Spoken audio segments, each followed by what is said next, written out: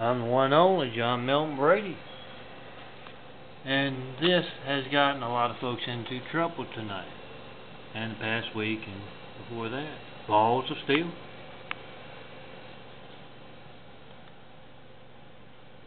Remember, my fiction.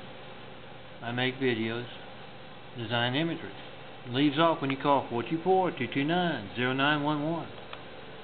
You do not reach me. And because you do not reach me, you do not know if you will reach 911 when you need them. Document your mail P.O. Box 1151, Santa Monica, California 90406. Now I've been walking around with imagery pointing out that blatant censorship in America for several years now. Walking around L.A., uh, that not being newsworthy, and it should be newsworthy, shouldn't it? Is a reason for a very lot, a whole lot of street justice that is just as unnewsworthy. Now, for the past week, every night, I've gone to bed with new, brand new sheets on this bed, clean sheets, and woken up with little first parasites, I call them.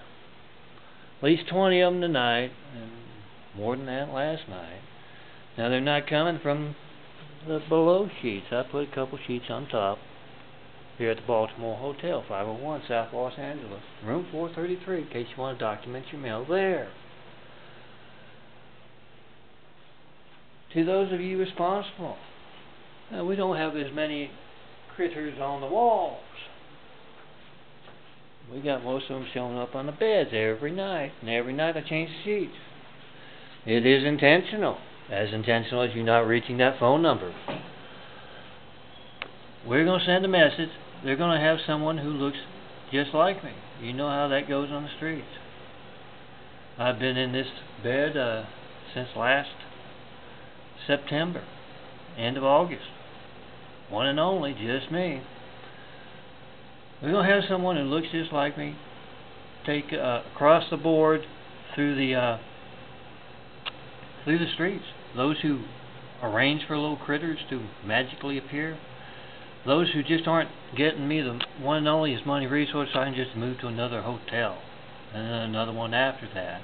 When the amateurs of the streets do this, they're going to take folks, sit them in chairs, bring family members in.